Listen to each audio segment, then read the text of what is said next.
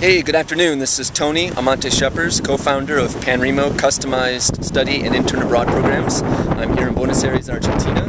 It's mid-January, sun is shining, 85 degrees, slight breeze. Good time to be here. I highly recommend it. I'm here just outside of downtown Buenos Aires, nearby an apartment where I'm staying at this month, and I'm showing you a monument that's right in front of me, and I'll turn the camera around.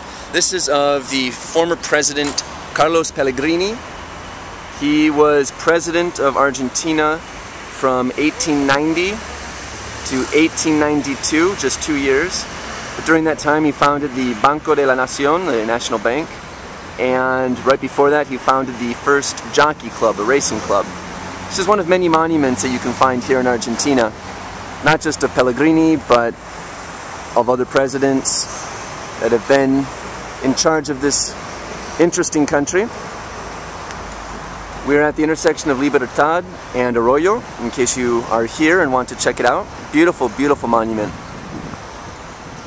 Erected just a while ago. Since I'm here, I might as well show you some typical apartments downtown Buenos Aires. These are the outside balcony, similar to ones we offer you as a student if you were to choose to study or intern abroad with us, with Panrimo. Some beautiful architecture in the distance. Believe that is a church or a basilica. Trees lining the streets. Beautiful, beautiful architecture. I love how the uh, buildings here in Buenos Aires, Argentina wrap around itself. They, there's really hardly any uh, pointedness, no, no corners of buildings. They just wrap. Beautiful European influenced architecture. And again, the Pellegrini Monument.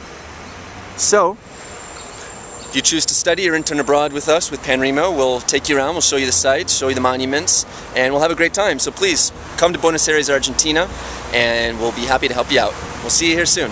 Take care.